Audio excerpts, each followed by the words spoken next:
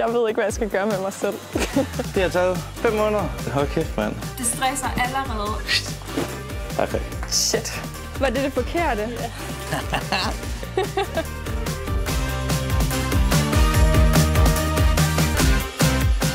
Jeg er øh, lige så stille ved at begynde at gøre mig klar til, at øh, jeg skal op i øh, fredagsbaren, hvor jeg er frivillig. Så jeg er lige stille begyndt at se, om jeg kan finde noget. Den trøje, jeg skal på, jeg har sådan en Trins kælder på. Øhm, og så lige et, øh, et par shorts, fordi det bliver skide varmt derovre. Og ja, jeg er øh, frivillig i den bar. Og det er egentlig, fordi det, det, det er pisse fedt. Der er skide godt fællesskab, og vi krydser en hel masse studieretninger. Og øhm, det gør bare, at man ser nogle mennesker, som man ikke ville have mødt på sin uddannelsesvej, hvis man ikke havde været der. Og altså, det, det er et super øh, fedt lille trick at, at melde sig ind i de der foreninger. Kæft, et overskæg, du har forladet dig der. Fordi at, altså, der er så meget socialt ved det, og øh, det, det giver så meget tilbage i forhold til, hvad man selv skal aflevere. I forhold til energi og oplevelser og mennesker, man møder.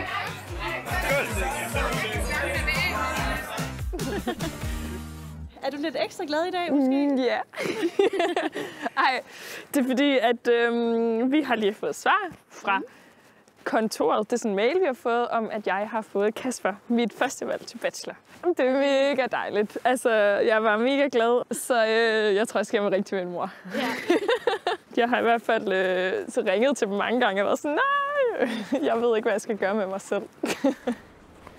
Det næste, der skal til at ske, er, at vi har sidste undervisningsdag, sådan fredag den 9. december.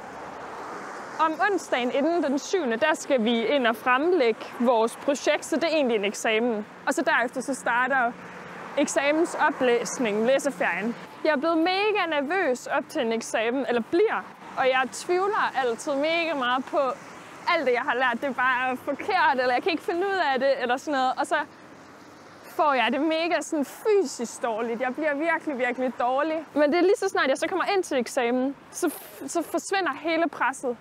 Og så kan jeg ikke mærke, at jeg er nervøs længere, så er jeg bare i det, og så plejer det jo at gå godt nok.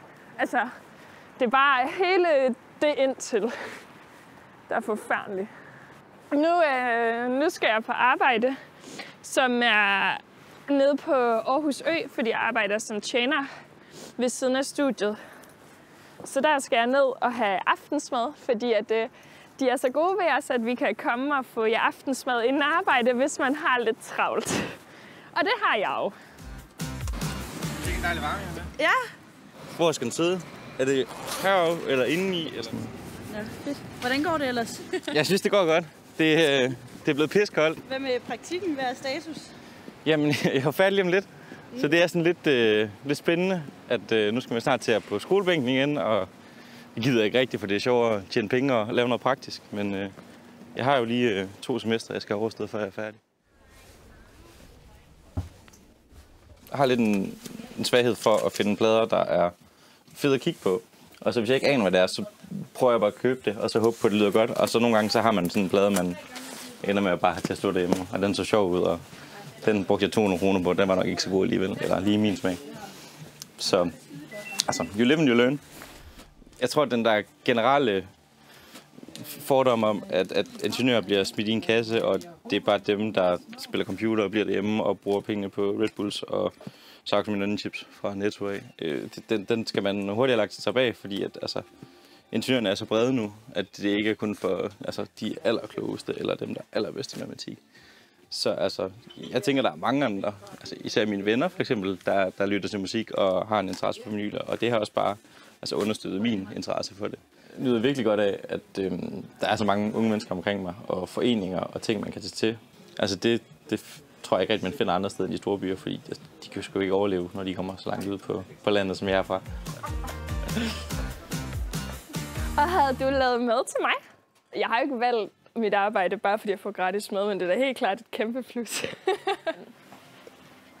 Jamen, jeg arbejder jo ved siden af studiet for at have lidt mere...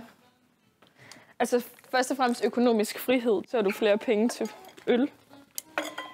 Eller gaver, eller uh, whatever. Men, men det er helt sikkert også, fordi jeg synes, at det er fedt at lave noget ved siden af.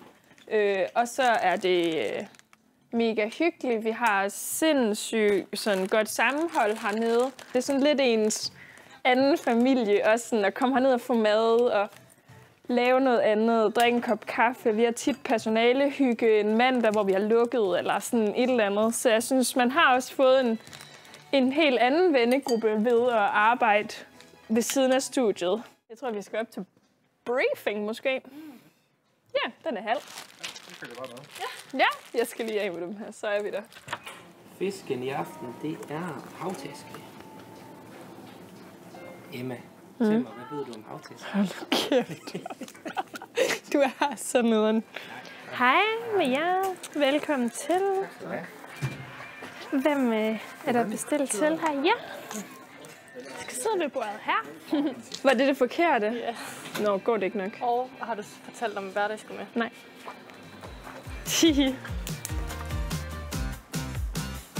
Nu skal vi ind i lejligheden. Og så skal vi gøre os klar til, at vi skal på shoppingtur. Skal give Netto-visen, fordi at, øh, det er en god idé at have en plan, inden man går ned i Netto. For ellers lige pludselig så står man med tre glas med peanut butter, man ikke har brug for. Har du, har du nogle gode idéer? Vi kan lave uh, chili con carne. Er det ikke nemt? Jo, så kan vi også bruge vores chili. Ja. Vi skal have chili sin carne. er i. Og konserves, konserves, konserves, konserves. Sådan en skuff der. Hvis man har den, så kan man overleve øh, tre øh, atomkatastrofer. Øhm, alt på konserves, det koster ingen penge. Det kan holde sig til evig tid. Og det smager skide godt, hvis man lige putter lidt ekstra i. Så sådan en, en chili sin carne. Man kan også lave den kon, hvis man har rigtig mange penge. Eller man har frossen kød ned, hvilket jeg også gør meget i. Kæmpe lifehack, hvis man øh, kommer ned og får dem på dato. Så lige øh, portionere dem og smid min frys på, skriv hakket oksekød, og så i fryseren, så har man til en lasagne eller til en chili con carne. Så det, det gør jeg meget i. Også hvis der er nakkefilet, som ingen folk køber, så kan man bare skære de nakkekoteletter. Lifehack. Og tag en pose med hjemmefra. Der er ingen grund til at betale 5 kroner i netto, hver gang du handler. Er vores komfastbrug? Det ved jeg ikke. Tjek køleskabet igen. En, en generel ting, der, der går at gøre, det er altså at putte en masse grøntsager i det, man spiser, fordi grøntsager er billigere end kød. Øhm, så altså, fyld det op med grøntsager, så, så, så er det billigere sådan per kilo. Øhm, jeg skal have nogle gulerødder og noget bladselleri, og der er så ikke flere gulerødder. Eller... Kese bladselleri. Der er ingen bladselleri. Så putter man ikke bladselleri i.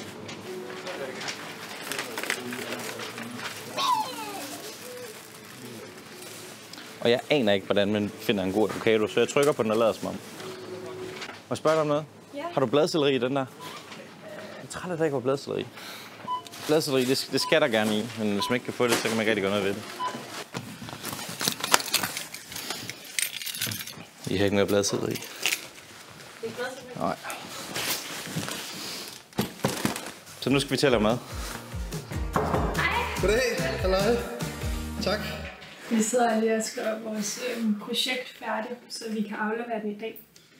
Ja, altså den skal afleveres på fredag, men vi vil gerne aflevere den i dag. Det er planen. Nej. Nu laver den sådan noget...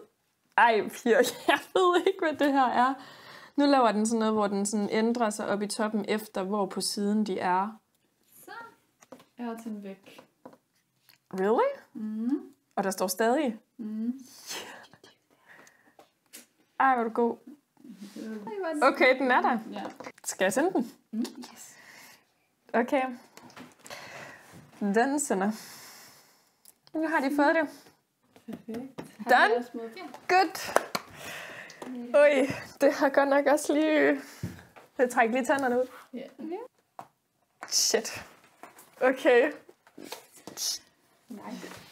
Men nu øh, skal man også bare lige have det der, øh, hvad hedder det, øh, fremlæggelse overstået.